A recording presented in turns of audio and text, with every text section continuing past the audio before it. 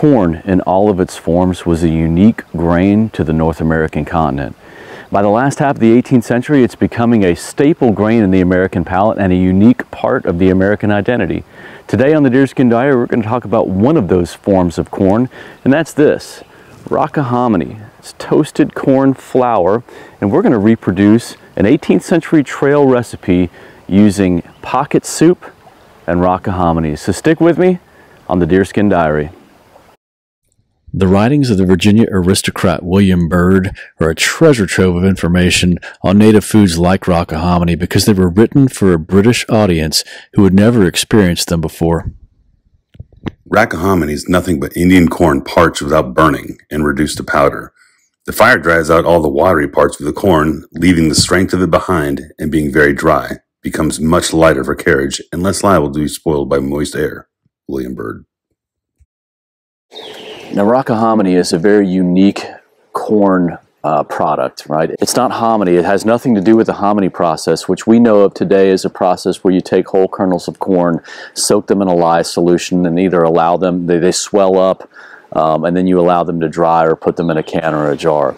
That's standard hominy. Rockahominy is not that. It has nothing to do with that lye soaking process. Rockahominy is simply uh, toasted or parched corn ground into a flour-like consistency. And that flour-like consistency is very important to note because many of the times that you read about rockahominy's use along the American frontier, the recipes almost have to be that flour consistency.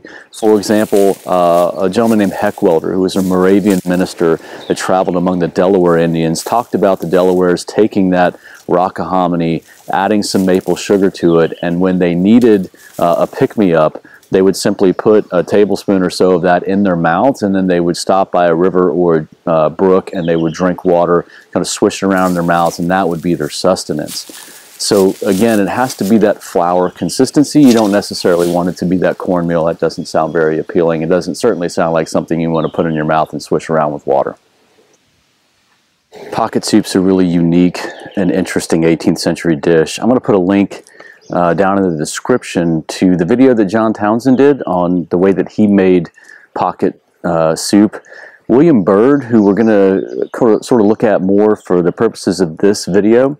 Um, he was a colonial Virginian who traveled the border between Virginia and North Carolina, and he seemed to be pretty infatuated with food because he wrote a lot about it, a lot about different foodstuffs. And one of the things that he wrote about was what he called glue broth, which is the same thing as pocket soup, and it is uh, basically made by uh, taking you know sort of gelatinous, tougher cuts of meat, slow cooking them until they fall apart, straining out everything, straining the fat out and then reducing that, that heavy broth down into gelatin. And then that gelatin is dried without heat over a period of time and it becomes this, becomes this leathery, tough, um, almost like a bouillon, but, but certainly not dry or powdery. And you can carry this in your pocket.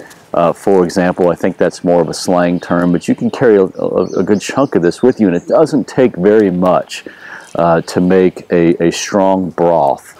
Um, this is going to be very nutritious, very flavorful, very good for you.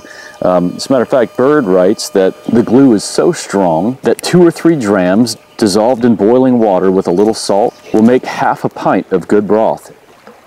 And if you should be faint with fasting or fatigue, let a small piece of this glue dissolve in your mouth and you'll find yourself surprisingly refreshed.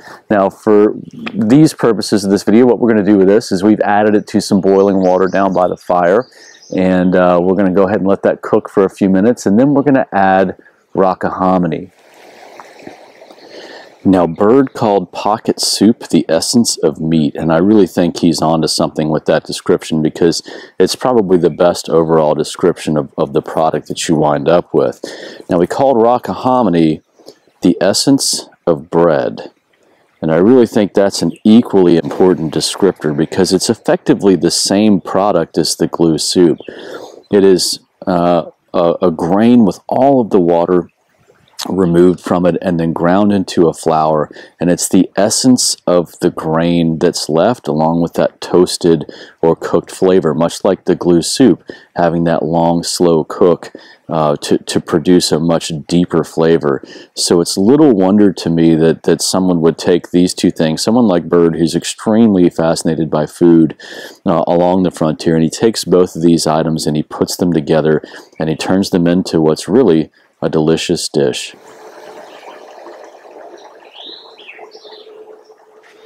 So how nutritious is this stuff for you? Really, that's a great question. Um, you're looking at about 180 calories per cup of the soup mixed with the rockahominy. So that soup is going to be roughly 30 to 35 calories per cup, and that is simply because you've taken most of the fat out of it. But the rockahominy itself is about 135 calories per quarter cup. So when you add roughly a quarter cup to a cup of soup, you're going to wind up with somewhere around 180 calories. Very similar to a handful of trail mix or certain protein bars that you might also eat out on the trail. Now the interesting thing about this combination to me and it is talked about in the 18th century as well, is that it gives you this feeling of being full. It's not like it makes you bloated. It's not like a, it, it makes you feel uncomfortable. It just gives you this kind of stick to your ribs uh, feeling of fullness for a broth type of, of meal or pick-me-up. So I can really see what uh, Byrd was getting at in the 18th century with his notion that just a little bit of this could go a long way and could keep you sustained for months on end. So I carry my rockahominy in one of these little small brain tan deerskin pouches that I've made because that's ultimately what is talked about a lot in the 18th century. Native uh, peoples carrying their rockahominy in small deerskin pouches as well as whites. It, uh, it, it, keeps very well like this for, for quite some time. This is enough to last me several days out on the trail for sure. You can actually buy this stuff still on Amazon. But if you search by Rockahominy on Amazon, you won't find it. You have to look for its Spanish equivalent, which is called pinole. I want to tell you that pinole can come in several different forms in modern times. You want just simply the toasted or parched corn flour. And if you look at the description of the product, you'll oftentimes see the, uh, the, the ingredients. And several of the ingredients uh, might be, you know, sugar, or cinnamon or chocolate. That is used as a drink still in many uh, Hispanic cultures, but they still make pinole or rockahominy as a toasted corn flour. And again, you can get it at, uh, on Amazon. You can get it at ethnic grocery stores. I think I've seen it on Walmart.com as well. And it is an 18th century food that's relatively untouched after all these years.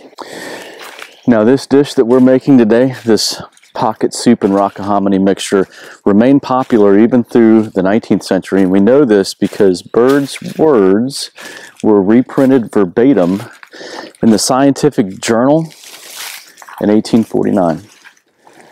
Well, here it is, folks.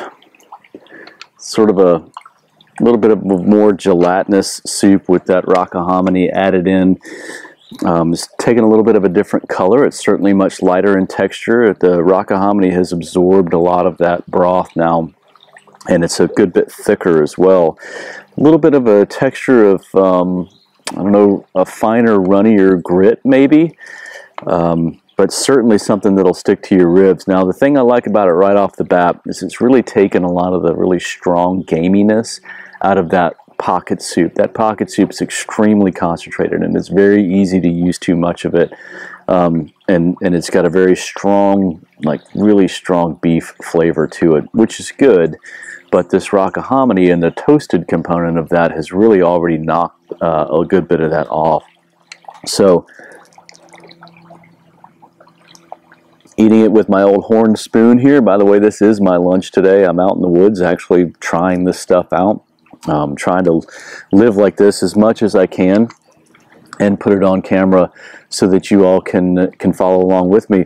So this is my, my lunch today. I really don't have anything else. I have some water and that's about it.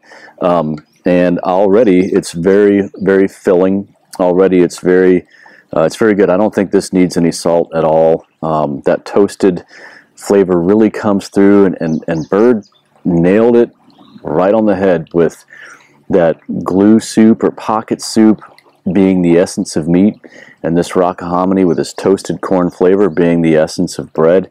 Mix those two together, and this is something that I will likely enjoy at home, not necessarily having to be on the trail.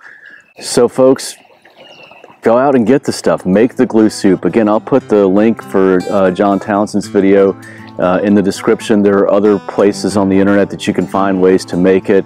I mean, go out and buy some bone broth and, and, and, and try it that way.